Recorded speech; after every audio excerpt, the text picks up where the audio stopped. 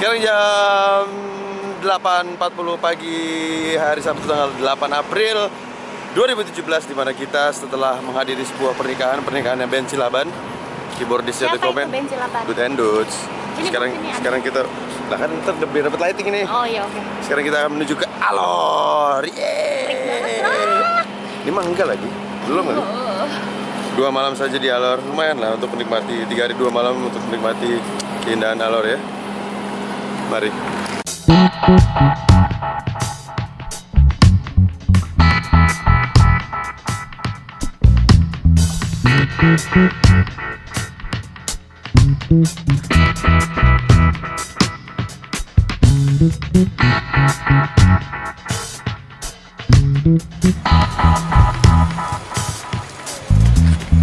disambut di Alor dengan peringatan keras.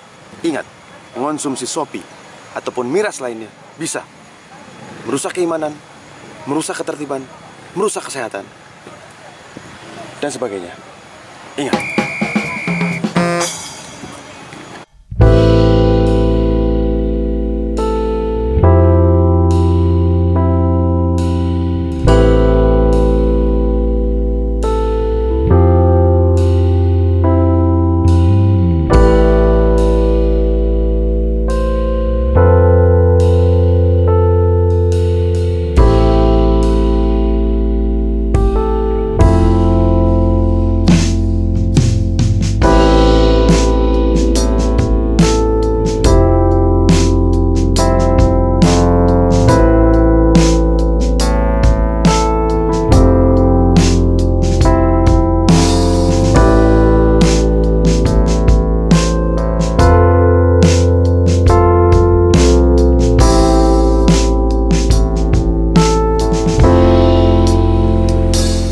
Akhirnya sampai juga di Alor Divers Resort.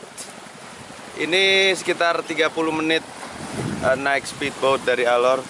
Jadi kalau mau ke sini dari Jakarta itu 3 jam direct ke Kupang. Dari Kupang sejam ke Alor. Pesawat. Dari Alor naik pesawat ya.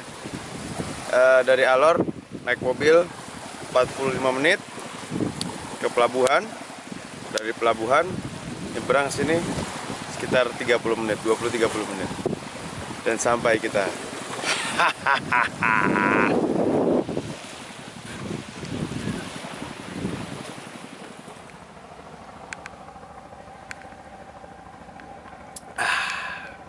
langsung disambut oleh kelapa segar. Ini kelapa saking segernya nih, dia kayak ada sodanya ya, kayak ada alkoholnya gitu loh. Maksudnya kayak ada nyes-nyesnya gitu. Dan ini adalah eco resort.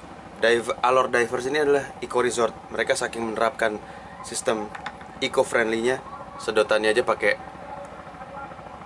bambu. Oh. Pernah lihat video itu kan yang penyu hidungnya kemasukan sedotan plastik nah itu makanya jangan pakai sedotan plastik pakai sedotan bambu karena ini adalah eco resort. Bukan eco wise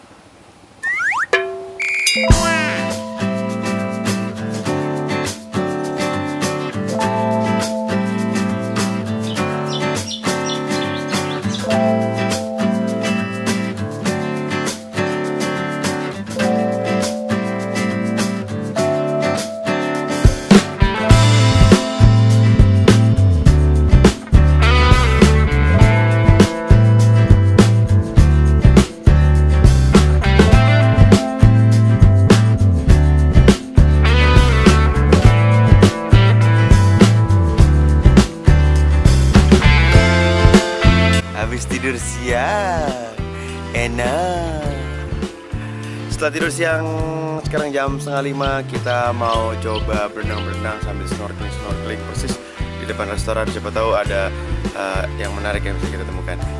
Let's go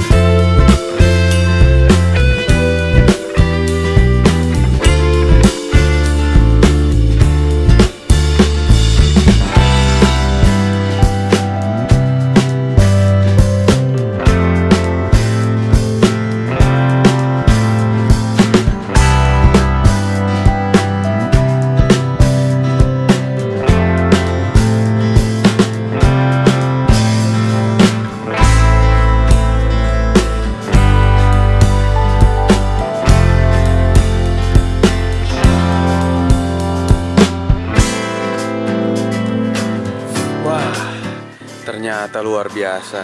Area di depan uh, restoran ini persis. Itu isinya soft coral semua ikan-ikan kecil-kecil gitu bagus-bagus. Dan kebanyakan yang biasanya lo temui di perairan dalam ini cuma sepinggang. Keren! Awalnya agak-agak pesimis karena jarak ke tengah itu kan lumayan ke tempat soft coral itu. Nah di tengah-tengahnya itu ada ada hamparan rumput aja udah rumput doang. Terus awalnya cukup pesimis ya ini pasti jelek lagi nih begitu nyampe tengah. Subhanallah keren banget. Sayangnya ini bukan pantai sunset karena matahari terbenam di belakang kita. Cuma bias sinarnya aja udah kayak gini tuh. Edan tuh matahari terbenamnya di sana. Karena ini adalah pantai sunrise. So pasti besok bagus deh kalau sunrise. Masa? Besok coba bangun pagi ya. Siapa tahu bisa dapat sunrise. Sunrise seharusnya mungkin dari balik gunung itu mungkin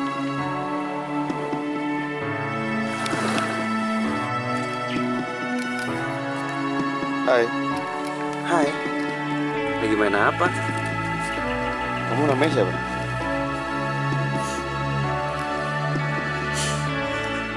Ini Faja. Anakku namanya Zafa. Kamu Faza? Iya. Kalau kamu? Celi. Celi. Kalau si kecil ini namanya siapa? Glory.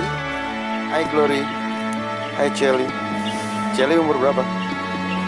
8 tahun. Anakku yang nomor satu juga umurnya 8 tahun. Kelas 3 SD ntar kapan-kapan aku ajak ke sini deh Celi tinggal di sini. Di mana? Di belakang. Oh. Oke. Okay. udah pas bye bye itu di kamera